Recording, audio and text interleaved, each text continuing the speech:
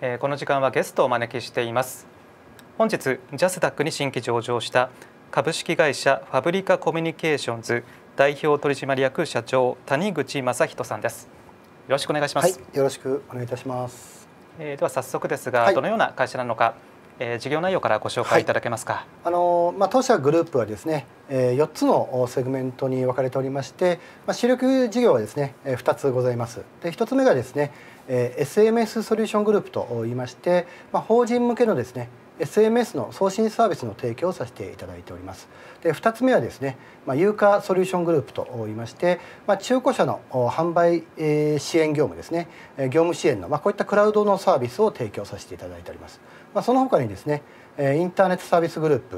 ウェブのですねウェブサービスのま企画開発運営であるとかあとまあリアル事業にもなりますけども、まあ、オートサービスグループといいまして、まあ、自己修理のサービスであるとか、まあ、車検サービスを提供しているということでございます。はい。えー、御社は創業が1992年、はい、まあ、当初は自動車の修理ですとか、はい、えー、車検の事業をされていたということなんですけれども、ね、はい。まあ、だんだん事業領域が増えてきているということでしょうか、ね、はい。やはりインターネットがまだその時代はなかったものですから、まあ、インターネット時、えー、インターネットにですね、まあ、1990年代後半にまあ触れまして、まあ、これからまあ伸びていくだろうということに確信して、まあ、そちらの方にまあ事業をシフトしていったと、まあ、そういう感じでございます。はい、えー、それでは続いて、えー、業績動向についてお伺いしたいと思います。はい、はいえー、まあこのグラフにもあります通り、えー、今期の計画あ27期ですね、えー、計画はですね46億売上がですね46億7000万円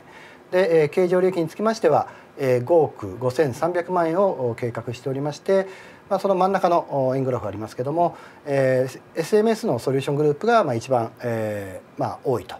で、えー、続いてユーカーソリューショングループでオートサービスグループインターネットサービスグループというふうに続いております。増収増益基調ということですね。すね。はい、はい。えー、ではここからは現在の主力事業と、はい、その強みについて、はい、えー、お伺いしたいと思います。あのまず、まあ、主力事業の一つ目といたしましては、まあ、あの SMS ソリューショングループと言っておりますけども、まあ、これはですね、まあ、スマートフォンなどでですね、まあ、ショートメッセージを、まあ、送受信する仕組みをですね、まあ、法人向けに、えー、提供しておりまして、まあ、企業が顧客とのコミュニケーションを円滑にかつですね大規模に配信ができる仕組みというものを提供させていただいております。ま、サービス名をですねメディア SMS という名前で展開しておりまして、まあ、その主なまあ活用事例といたしましては、まあ、アプリのですね、まあ、本人認証であるとかあとま顧客への連絡ツールでまたですね飲食店の、まあ、予約のリマインドなどですね、まあ、電話番号さえ分かれば、まあ、確実にお客様に伝えることができるという利点を生かしましてさまざ、まな企業はですね、まあ、ユーザーとのコミュニケーションツールとして、まあ、ご活用いただいているということでございます。まあ、その他にもですね例えばまあ保険であるとかあとまあ、えー、車検のですね満期案内などですね、まあ、企業様からすると確実にユーザーに伝えなければいけないという、まあ、そういったもののです、ね、通知手段として、えー、もです、ね、非常に多く使われているということでございます。その他ですね大手の企業様にも多数ご利用いただいておりまして今現在ですね導入企業者数はですね2500社以上ということでございます。えー、ではその強みということですと、はい、えー、どんな部分になるんでしょうか？そうですね。まあここに4つ挙げさせてもらってますけども、えー、SMS ソリューショングループはですね、あの子会社であります株式会社メディア 4U で展開しておりますけども、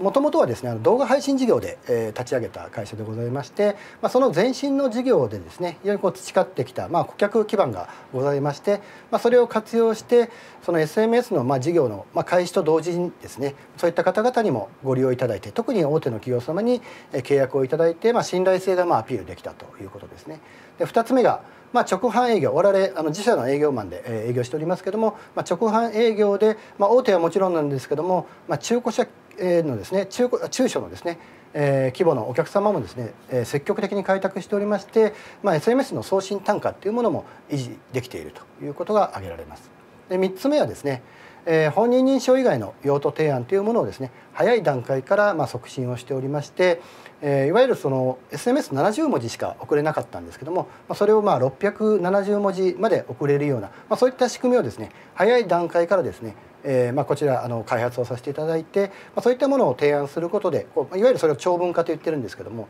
まあ、そういった長文化にも対応したことでこれもまあ単価を維持できている、まあ、一つの要因なのかなというふうに思っております。で4つ目はですね、まあ、我々あのウェブのマーケティングのまあ事業部門を持っておりますけども、まあ、いわゆるコンテンツマーケティングによりましてこう B 向けにもですね導入を検討する企業様ですねにもですね問い合わせを多く獲得できる仕組みっていうのを持っておりますので、まあ、そういった意味でまあ新規契約も非常にこう、えー、いい形でできているのかなというふうに考えております。はいあのこの SMS ですけれどもいわゆる電子メールとは違ったメリットがあるということですよね。ねはいあのまあまあ、もちろんメールもですねあの有力な通知手段ではあると思うんですけども、まあ、皆さんご存知の通りですね、まあ、非常に多く送られてきてしまってですねなかなかこう見ていただけないとか開封率が悪かったりとかいう形でありますけどもまだまだ SMS の場合はまだまだ使われている、まあ、いわゆる量っていうのは少ないですし多分あの皆さんもそうかと思いますけども、まあ、どうしても開いてしまうとか開く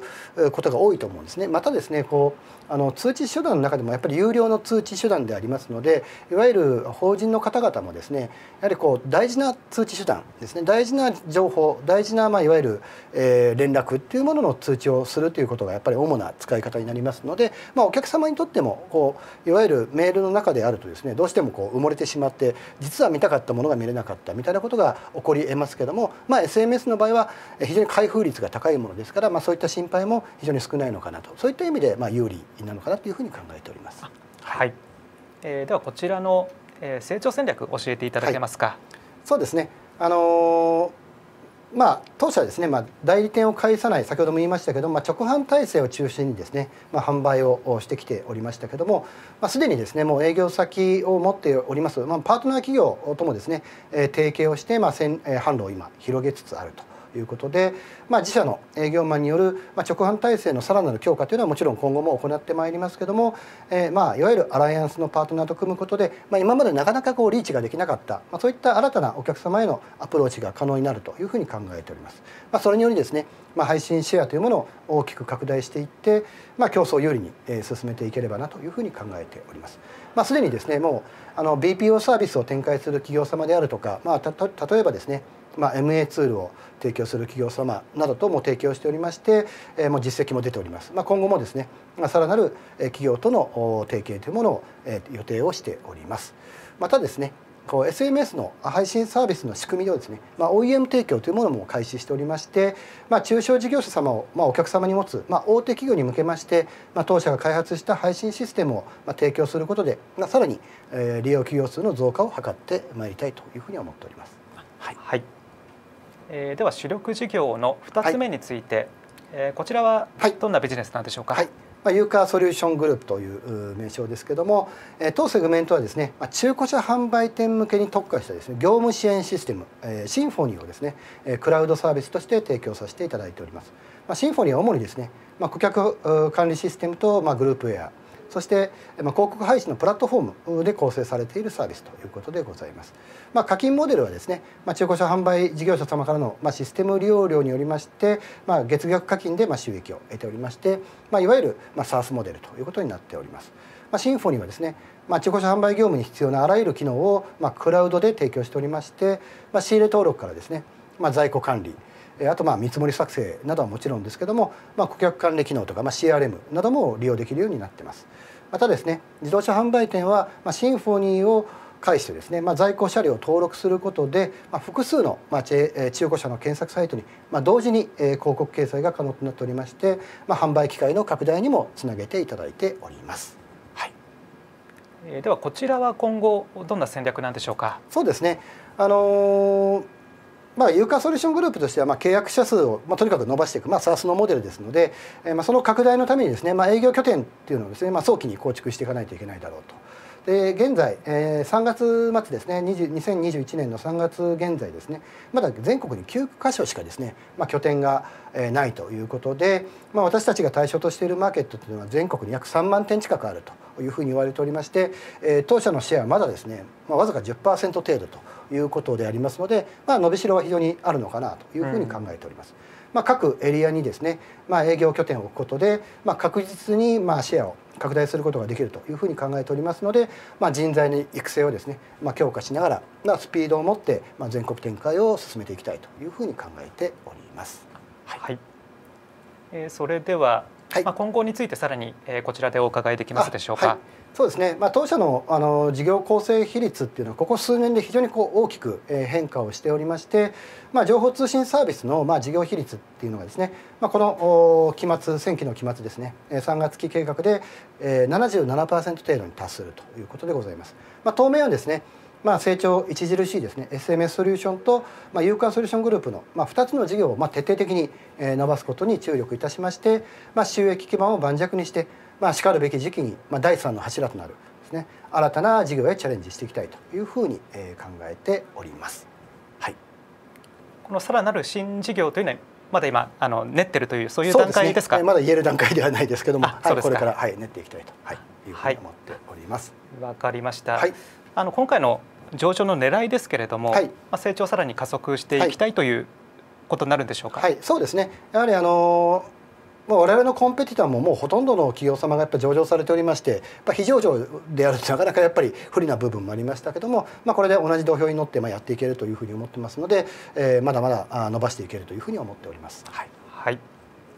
えー、では、えー、最後になりますけれども、はい、えー、番組をご覧の投資家の皆さんに向けてメッセージをいただけますでしょうか？はい、えー、まあ当社の理念でありますね、えー、変化を好機と捉え、まあ新たな価値を創造しと。えー、社会に貢献するということでございますけども、まあ、非常に今変化が非常に激しい時代になっていると思われます。でまあ、そういったあですね、えー、中でもですね、まあ、主力であります、まあ、2事業というのは非常に伸ばさせていただいているんですけどもやはりこれからもっともっとこう変化していくと思われますので、まああのまあ、新たな軸となるですねサービスをまあ積極的に、えー、展開していきたいというふうに考えております。